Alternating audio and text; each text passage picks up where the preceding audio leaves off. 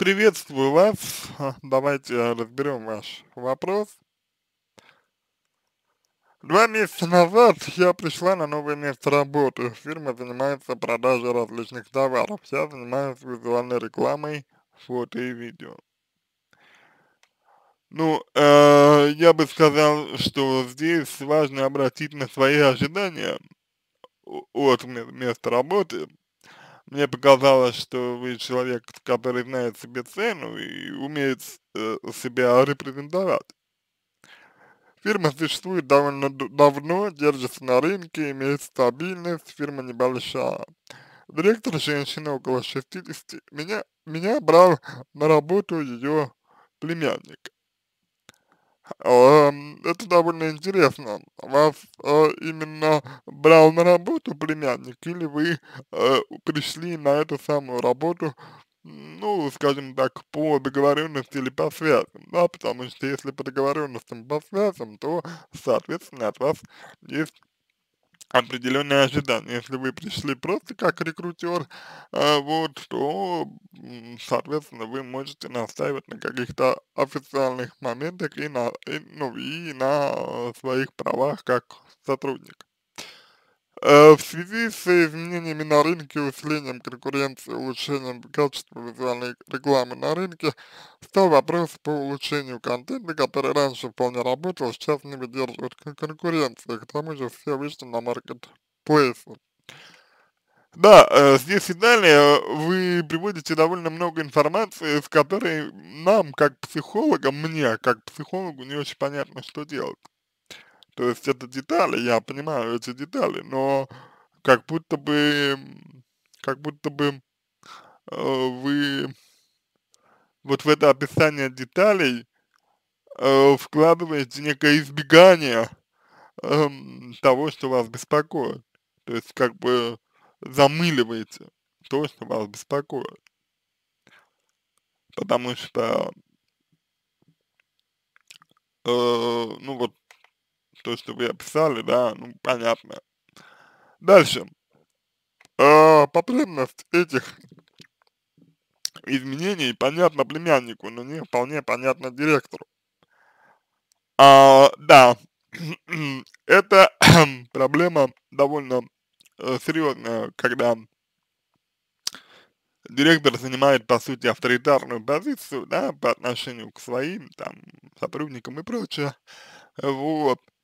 Это еще, это еще хорошо, что она, что она порядочная, это еще хорошо, что она такая вот, вроде бы справедливая честная, вот.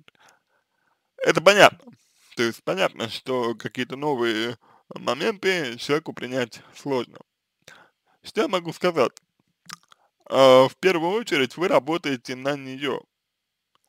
И, э, на мой взгляд, э, это не нужно забывать, что если вы работаете на, на нее, и человек а, отдает предпочтение чему-то, с чем вы не согласны, то есть вам кажется, что предпочтение нужно отдавать другому, то значит вам это место не подходит. Потому что мне показалось, что основная проблема заключается в том, что фирма и директор не разделяют ваших взглядов на работу. То есть у них это больше такая э, семейно-неформальная или полуформальная обстановка, вы не привыкли к более целенаправленному, центрированному рабочему процессу. И я вас понимаю, мне это тоже близко. Но важно понимать, что когда вы работаете на кого-то в фирме, вы, вам нужно разделять взгляды на директора. Либо постепенно-постепенно перенаправлять его, но это сложно, а учитывая, что директор, э, человек, которому около 60, уже, в общем-то, практически, наверное, невозможно. То есть мне кажется, что ваша основная проблема это фрустрация по поводу того, что рабочий процесс не организован так, как вы считаете его верным. Ну, возможно, это говорит, это говорит о том, что вы внутренне созрели для того, чтобы открыть свою фирму. Вот. То есть вам сложно работать на кого-то уже в этом плане, если у человека различаются принципиальные взгляды на рабочий процесс. Дальше. А, она приняла, что нужен новый контент, но ее установки относительно стиля работы, типа оформления и продолжительности работы довольно старые, консервативные, так же, как у всего штаба. Да, и это реальность, в которой, в которой вы, жив, вы живете, приходя на эту фирму. То есть это, по сути, казино этой женщины, а вы пришли в гости, взяли на работу. Вы либо при, принимаете то, что там есть, либо нет. Либо, как я уже сказал, адаптивно перенаправляете, насколько это возможно, э, начальника на то, что вам кажется правильным. Процесс, э, процесс это долгий и совершенно не гарантирует какого-то результата. Дальше. А, человек а, должен приходить на работу и работать, чем дольше, тем лучше. Многие работают в фирме больше 20 лет, кто-то 2 и 5 лет. Я думаю, что это связано с тем, что э, директор полагает э, таким образом развивать доверие между сотрудниками, чтобы не было текучки. Вот. Я полагаю, это такая полусемейная история. Мне удалось получить разнообразный и конкурентный опыт за счет того, что я практиковала более современный подход к карьерному росту, не более полугода на одном месте, за это время добиться улучшения качества своего участка работы в фирме. Вот у меня вопрос, э, как бы, какой вы смысл вкладываете вот в эту фразу? Для меня, как для психолога, это выглядит под, как подчеркивание своей ценности. Как будто бы здесь ваша ценность принижают принижение вашей ценности связано не с, те, не с тем, что вы менее ценны, но с тем, что у этих людей ценности другие. Они просто другие. И вы, судя по всему, эти ценности принять не можете. Ну, у вас есть конфликт, у вас есть конфликт, вы пишете, что зарплата хорошая и работу сложно найти нужно сделать выбор. Стоит ли э, того, что вы не принимаете, э, стоят ли ценности, которых вы, которых вы не принимаете, денег и сложностей в поиске работы. Так, эм, для меня это готовый удачный проект кейс чат портфолио для фирмы в идеале э, системное повышение уровня и продаж. Вот мне, как не специалисту, сложно вот здесь понять, о чем идет речь. Вы имеете в виду, что ваш подход э, э, дает удачный проект кейс часть портфолио вам, а фирме системное повышение уровней, уровней продаж. Да, возможно это так, но что если фирме это не нужно? Что если фирме это не нужно? Что если у фирмы другие э, приоритеты и другое направление? Почти сразу мой подход вызвал внутреннее недовольство со стороны начальства и недоверие. Это, это нормально, потому что, как бы, ориентир разный.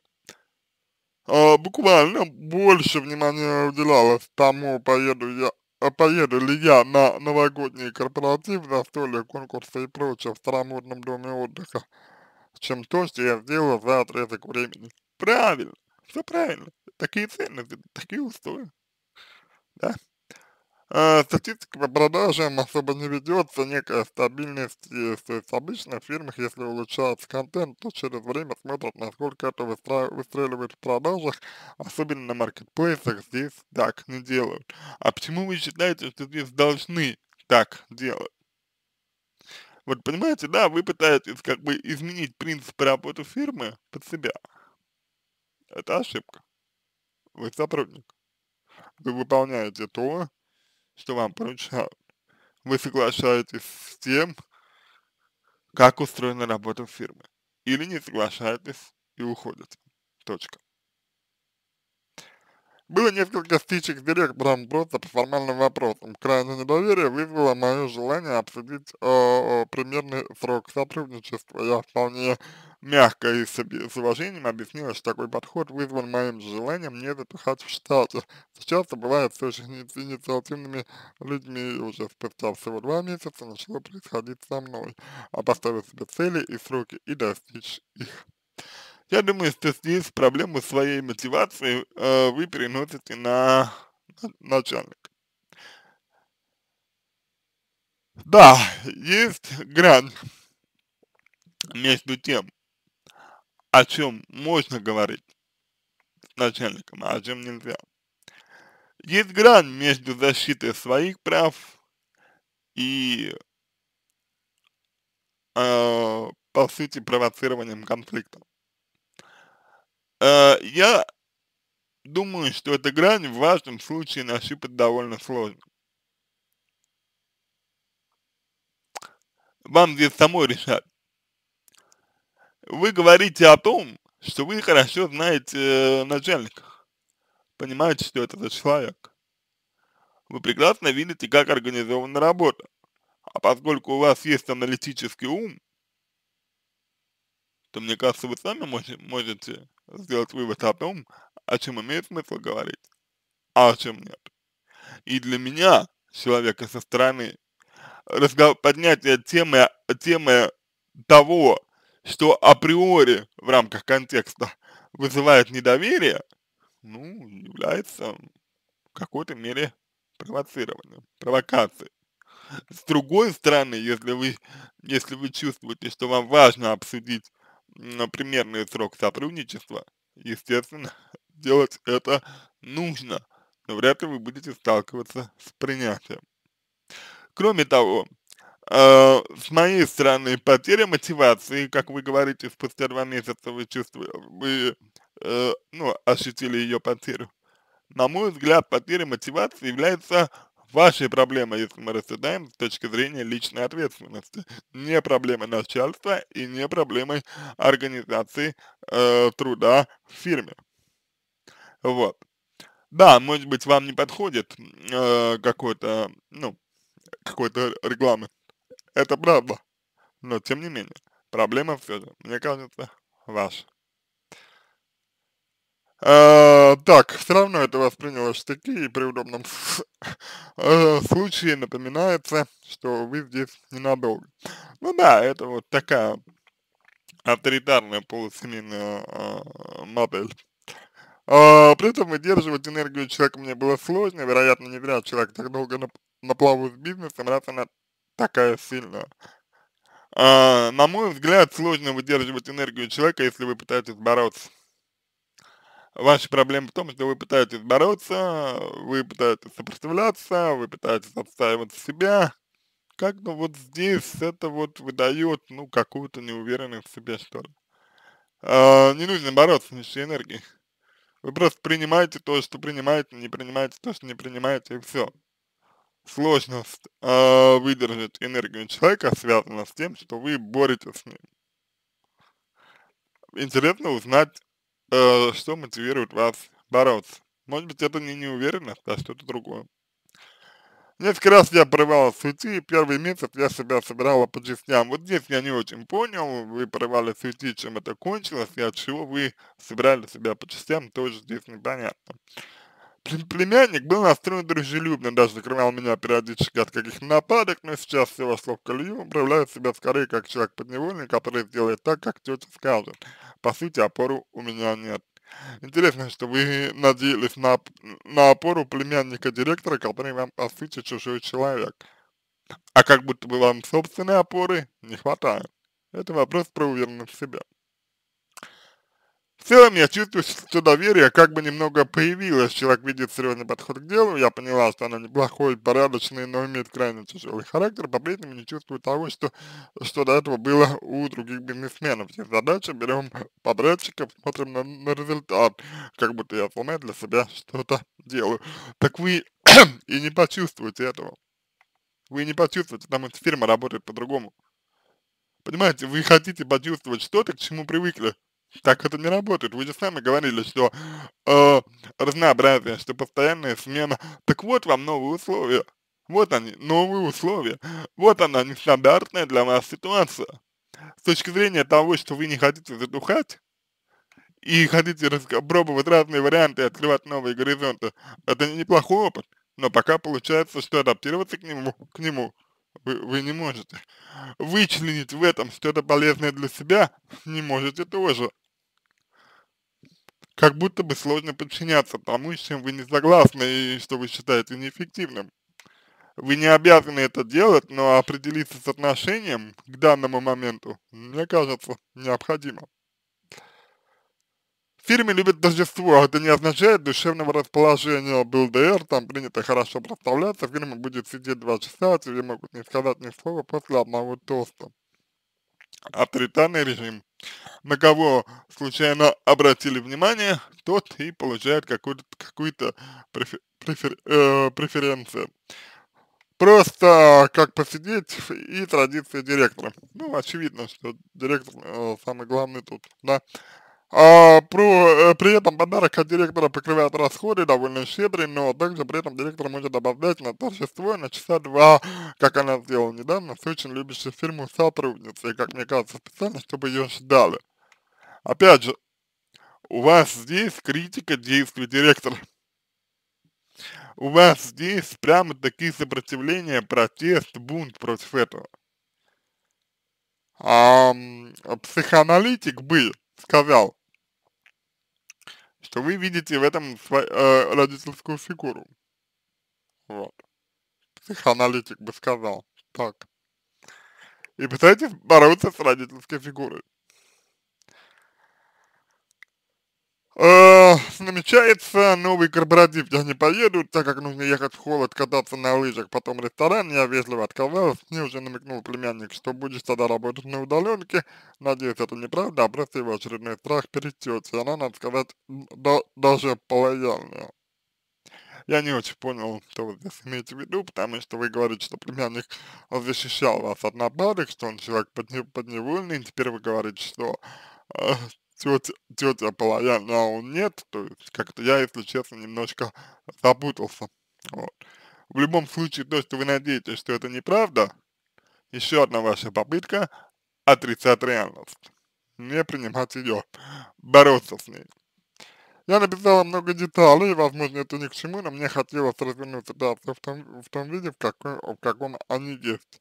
Да, только эти ситуации не отражают ваши проблемы, не конкретиз... ваши проблемы не конкретизируют ее.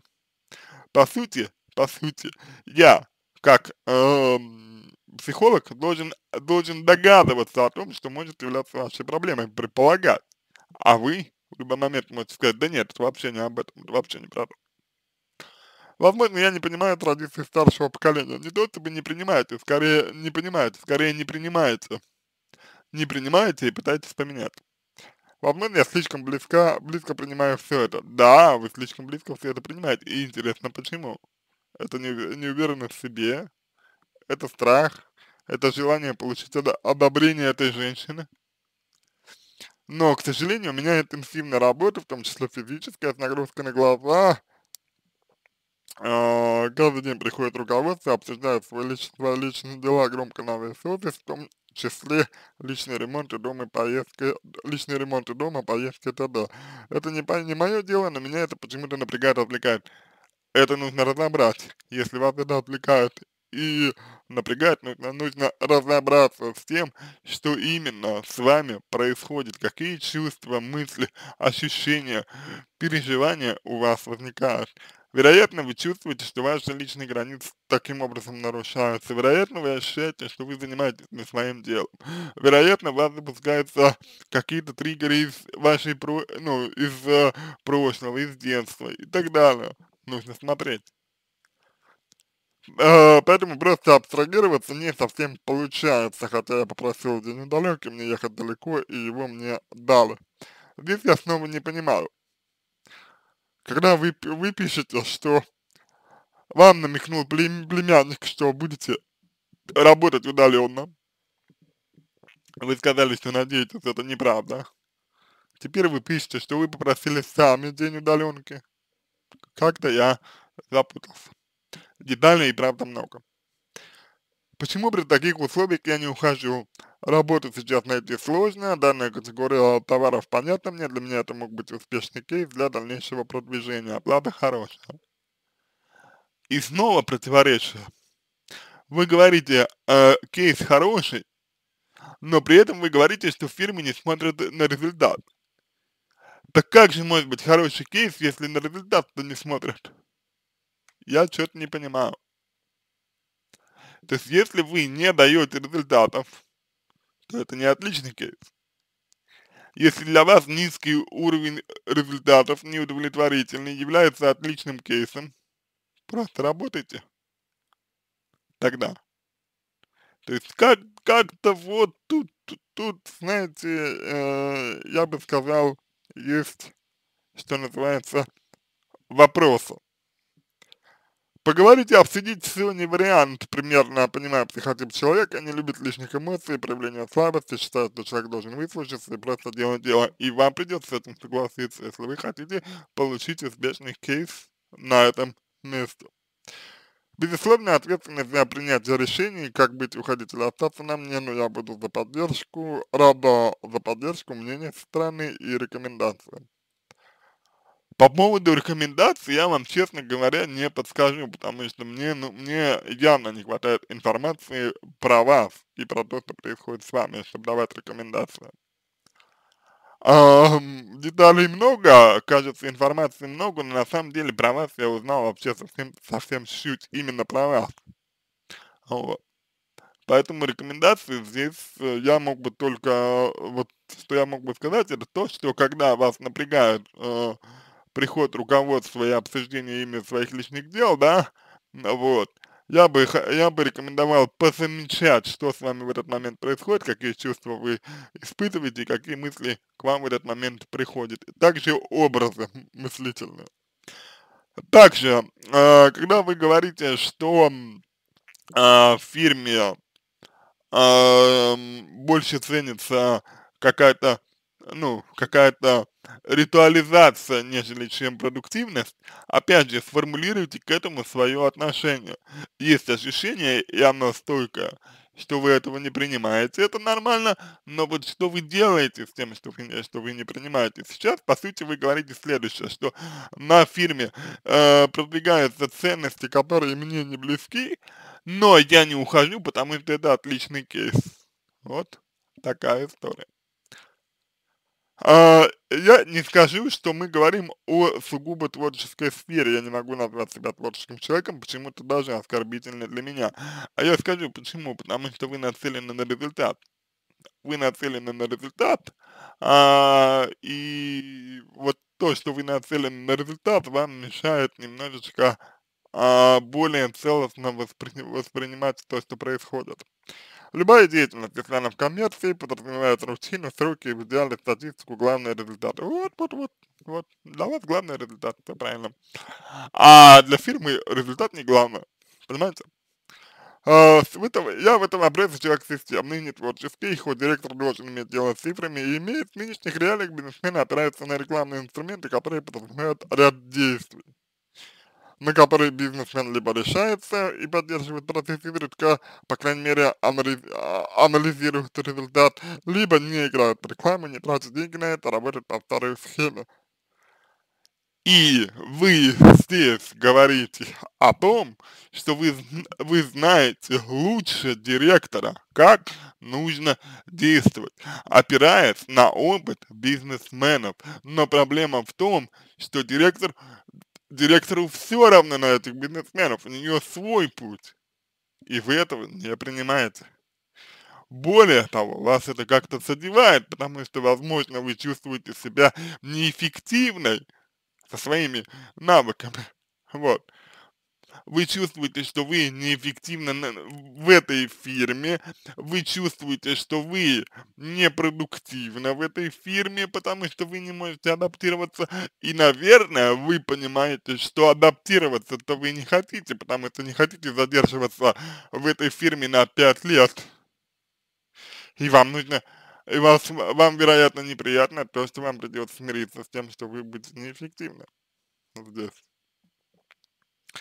Я говорю об этом, а не о личных отношениях, и похвалите мне меня, а мне есть чем сравнить. Я работала в других бизнесах тоже, в плане отношений мне наоборот нужен минимум, дружба, признание и прочее. От этих людей мне не нужна, я уже большая девочка. А вы говорите и сравниваете с другими бизнес бизнесами. Это ваша большая проблема. Другие бизнесы это другие бизнесы, этот бизнес этот бизнес. Тут авторитарная модель управления. Вот и все. Вот и все. Нам, э, я надеюсь, что помог вам. Буду благодарен за обратную связь по моему ответу. Это позволит вам начать над собой работу. Желаю вам всего самого доброго и удачи.